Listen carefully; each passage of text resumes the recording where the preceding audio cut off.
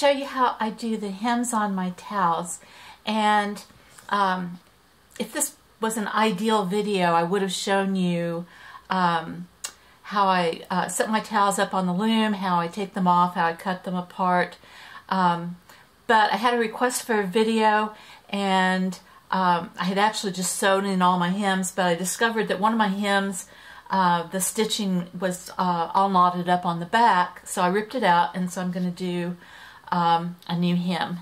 And so here's the other side of the towel with the hem sewn in. Uh, when my towels are on the loom, I separate them with a vinyl mini blind, and I use um, liquid cornstarch. So if you can kind of imagine when they're on the loom, kind of imagine that there's one towel here, my mini blind, and then this, and then I just brush the liquid cornstarch um, at the ends of the towel. And you can see, even though this hem has been sewn and taken apart, it's still uh, holding the threads together pretty good. And I'm going to use um, these little sewing clips, and they come in different sizes. Um, this is the first time I've used them. They open pretty easily. They hold pretty good. They work really well for the towel hems. I don't know how they would work for other sewing projects, um, but they work pretty well for me.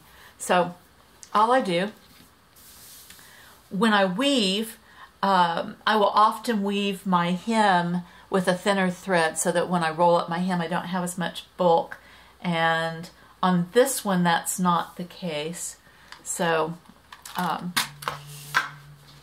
but and I usually allow about an inch and a half so that when I fold them it's going to fold up about a, a half an inch and then another half an inch. And I kind of eyeball that just kind of depends. Um, I'm not real fussy about being exact. And to me it seemed like it worked easier to actually start um, clipping these in the center. So I just fold it up, fold it up again, and put a clip on. It doesn't seem to make any difference which direction. And then I'll go a little farther. Of course, this already has a fold in it because it's been uh, stitched. Uh, with the starch, it'll be a little bit stiff when you fold it up.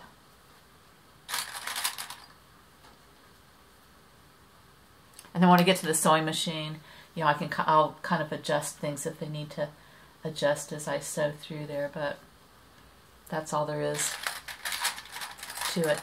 Oh, I should say, if you don't use liquid starch um, to hold your ends, um, what I would do is uh, before I cut the towels apart, I would um, uh, either zigzag or stitch that cut edge so that it didn't ravel when I cut them apart. But the starch holds them really good. And I have a separate video on um, using the cornstarch if you're interested in that. Okay, so now let's go to the sewing machine.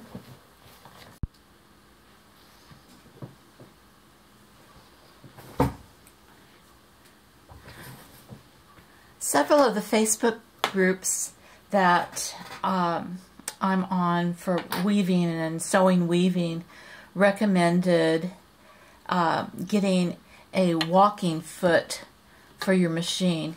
And so I found one online, uh, and they vary in prices.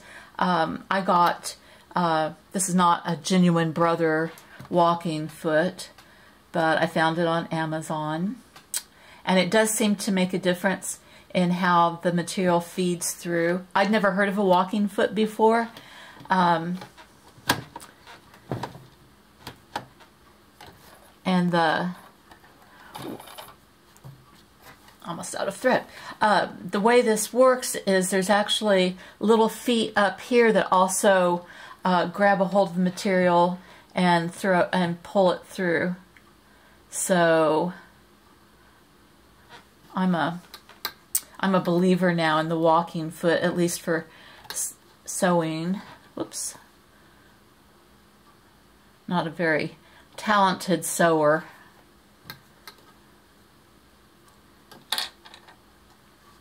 And I kind of straighten my hems up once I get on the machine. And so all I do is, and then I'll backstitch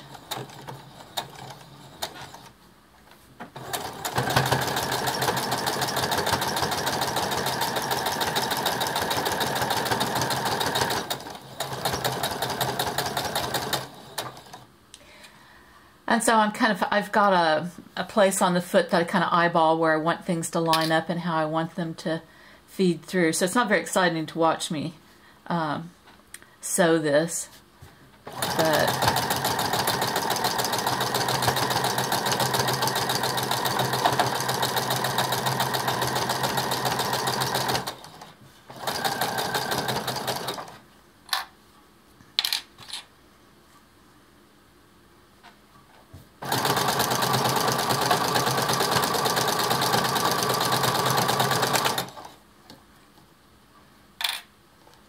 some little bits of thread there.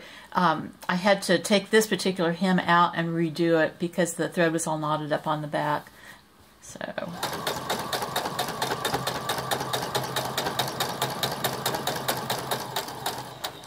Didn't quite get that one lined up very good.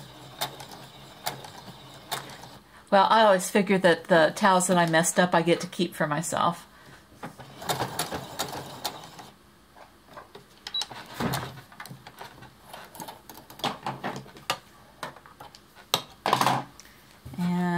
So there's my hem. Didn't mess up too much this time.